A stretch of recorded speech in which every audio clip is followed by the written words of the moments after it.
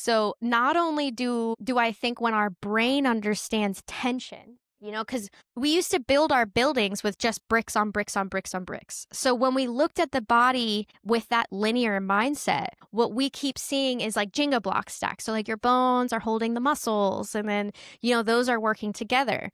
But really, like if we look at a marathon runner and they are, you know, running for you know, if they're a pro, I think it's like four hours. And if they're a weekend amateur, it's like seven hours straight of running.